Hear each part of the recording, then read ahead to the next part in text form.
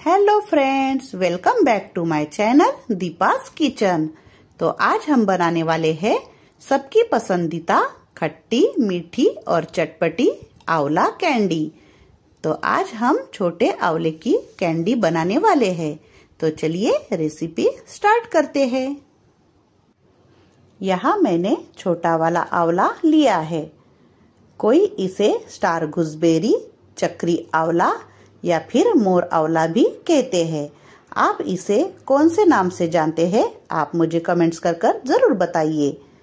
तो यहाँ हमने लिया है एक किलो छोटा वाला आंवला अब हम गैस पर रखेंगे एक पतीला और उसमें हमने लिया है पानी।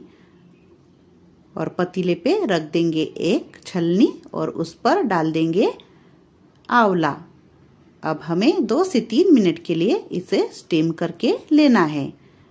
तो तीन मिनट हो गए हैं। अब हम आंवले को चेक करेंगे। तो देखिए, आंवला अच्छे से सॉफ्ट हो गया है।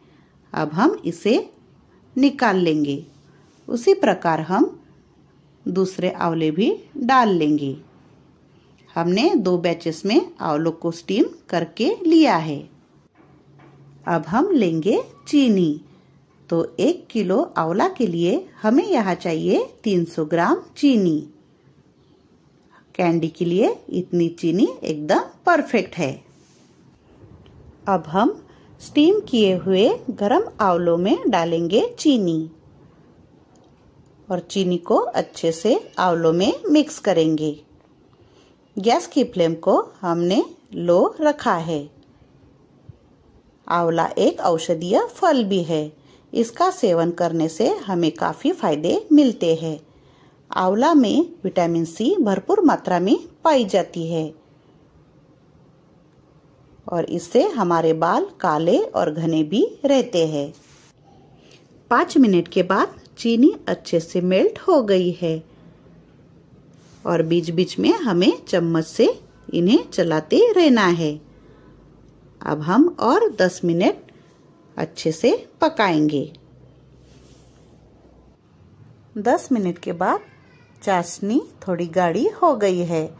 फिर भी हमें इसे और थोड़ी देर पकाना है। पाँच मिनट के बाद अब हम डालेंगे एक टेबलस्पून काला नमक और अच्छे से मिक्स करेंगे। फिर से हमें 10 मिनट के लिए आलू को पकाना है। तो यहाँ हमारे 10 मिनट हो गए हैं और चाशनी भी पहले से गाढ़ी हो गई है। टोटल हमें 30 मिनट लग गए हैं। अब हम गैस की फ्लेम को करेंगे बंद। अब हम लेंगे एक बड़ी थाली और उसमें डालेंगे आंवला। तो यहाँ हमने चाशनी बिल्कुल भी नहीं निकाली है। हमने ठंडा करके लिया है। और सारी चाशनी हमारे आंवलों के अंदर चली गई है।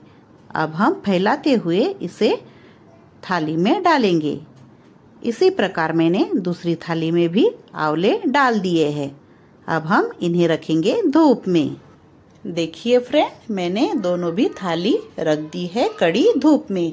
अब हम देखेंगे शाम को। तो शाम के पाँच बज गए हैं। अभी हम कैंडी को थोड़ा सा अलट पलट करेंगे। उससे कैंडी को अच्छे से धूप लगेंगी। दूसरे दिन भी हमें आंवला धूप में रखना है और मैंने एक ही थाली में सारा आंवला निकाल लिया है। अभी कलर भी चेंज हो गया है। दो दिन के बाद हमारी खट्टी मीठी चटपटी आंवला कैंडी बनकर रेडी हो गई है।